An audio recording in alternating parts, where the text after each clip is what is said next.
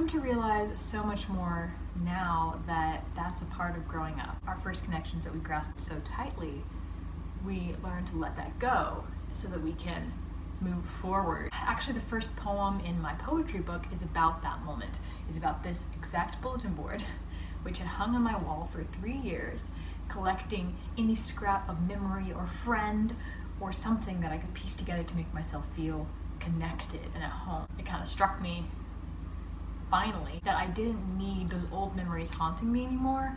That one of the things I needed to do to move forward was to just take all of that off and just start fresh and look forward and learn to make adult connections and learn to look forward for happiness and trust that we will always that we are worth it and we will always continue to find it and i did do a one year later video um, looking back on all the wonderful people and memories that i had made during the you know my new life in austin. It's been two years now since that video which is crazy to say. I'm not going to continue this tradition because I now have this confidence and this understanding that good memories and good people will always come and that a different perspective of not grasping onto this so tightly but more just letting the moments roll over me and being in flow but that being said i do have this treasure trove of memories to share with you now and i do think it's good that i did this too because if anyone's watching my channel any young queers that are really nervous about leaving religion and leaving their hometown and all this, they can look at this and see that there's lots of great stuff to come. As you can see up top here, this is the invitation to my cousin's wedding. And to me, that doesn't just symbolize the fact that my cousin, who's two years younger than me, got married, but the fact that her family, who lives here in Austin, I've gotten to be a lot closer to in the past year. They've been like the most supportive of me and Evelyn and of me coming out um, more supportive than my hometown, like my mom and dad and my siblings and stuff, my hometown family. We had a regular game night with them and me and Evelyn, which was the most integrated Evelyn's ever been with my family and probably ever will be, so that's really, really cool. And I was so nervous when it came out that she would never be part of any part of my family, but she definitely is, and that's really, really special. This right here is a little cutout from like a beer and that is from a date. I'm actually still friends with her, even though we're not dating anymore, as queer scenes go. This is an Out Youth sticker. I got involved with Out Youth for the first time this year, which is a charitable organization in Austin that's a drop-in center for LGBTQ youth aged 12 to 18.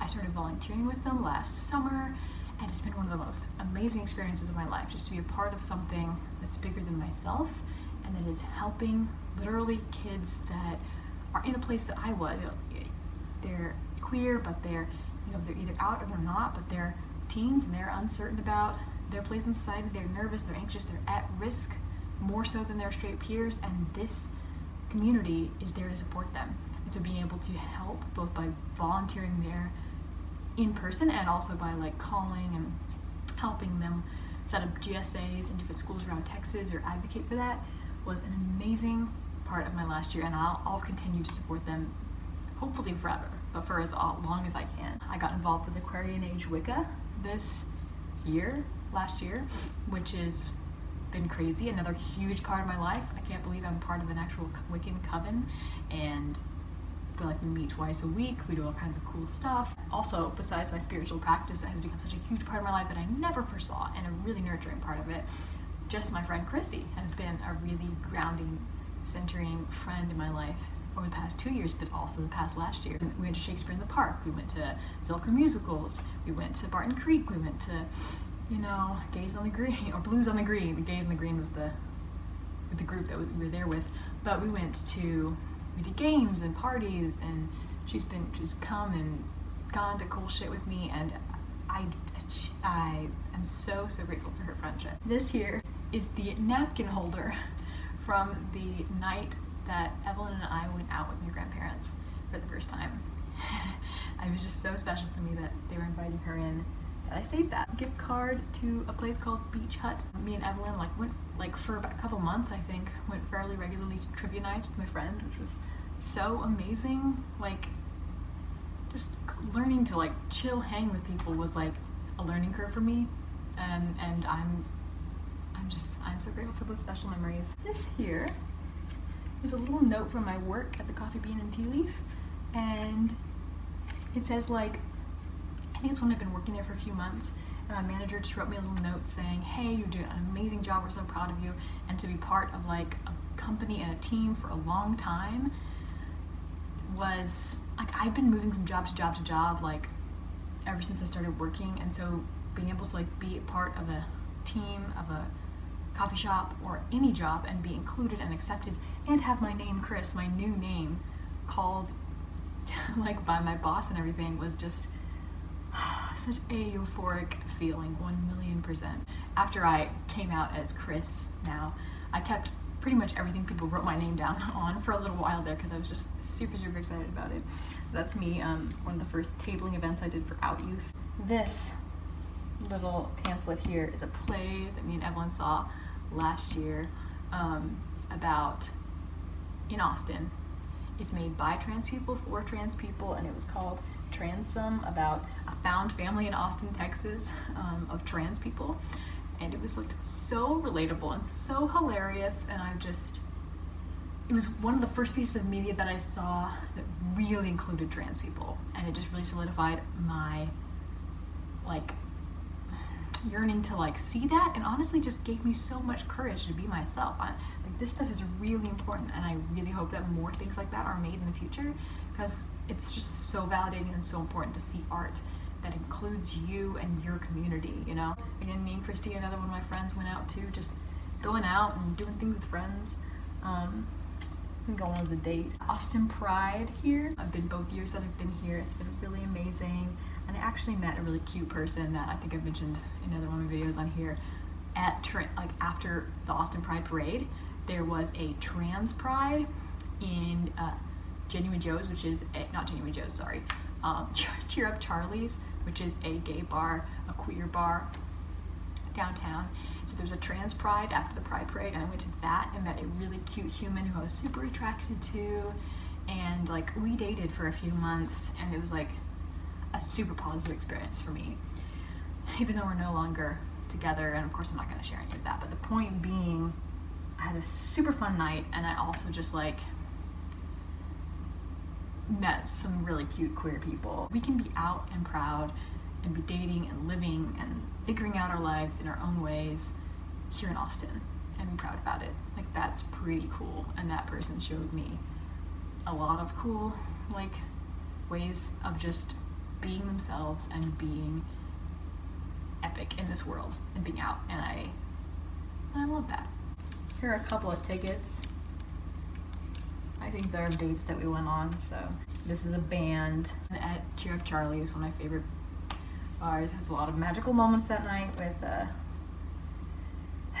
really cool badass feminist band playing and some shots and some cuties and some witches and some it's a good night. Here's a little ticket where I went camping with actually that same person.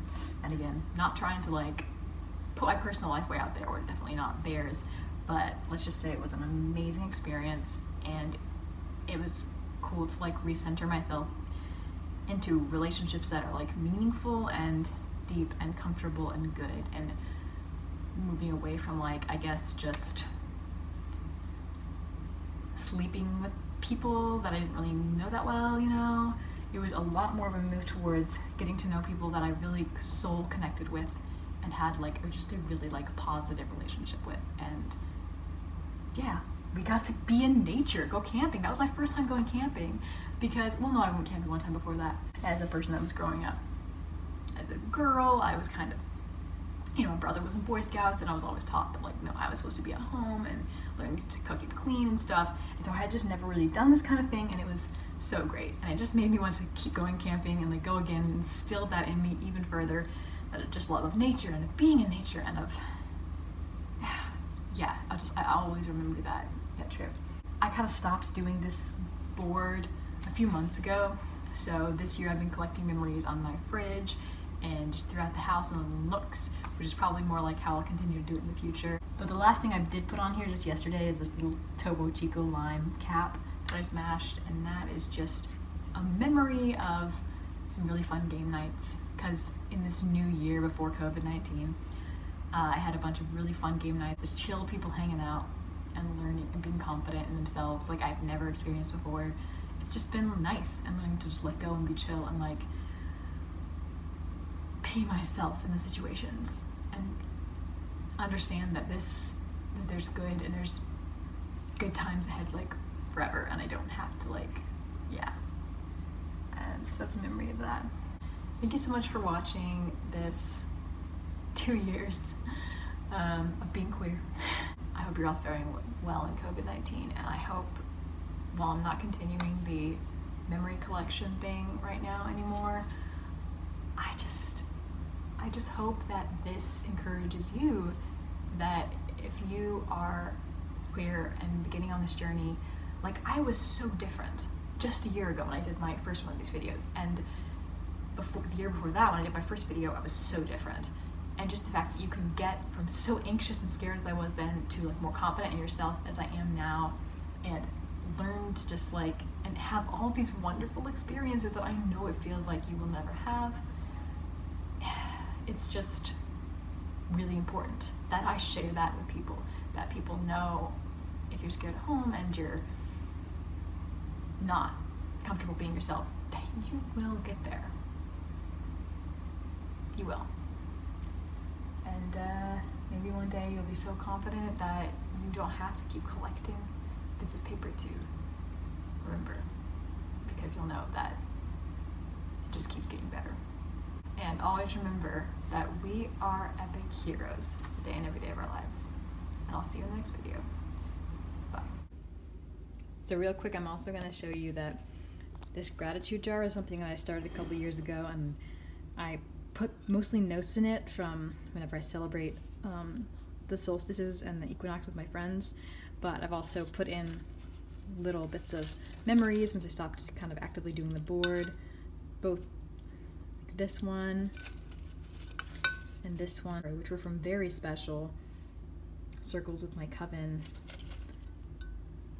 And um, some and some notes in there from just like highlights of, of the equinoxes and solstices my friends. I believe that this jar brings like positivity into my home the more good things I add to it. This little corner of my home is where I keep various little things. There's the crystals I talked about. And these flowers specifically are from when I had a Valentine's Day gathering with my friends, but we just called it Palentine's. And last but not least, this small corner of the fridge, another uh, little memory of Valentine's Day, and then both this note, which is actually my um, New Year's mantra, don't let great be the enemy of good, both this and these two little magnets here are from Out Youth. This was from a day when we were making our New Year's mantras in um, as a project with the kids. And these are something that one of the kids made for me, which is really, really sweet and really special. And this little thing here is just a piece of queer art that I was able to get from a queer artist that was at a little hangout that I went to. So just a nice reminder of queerness.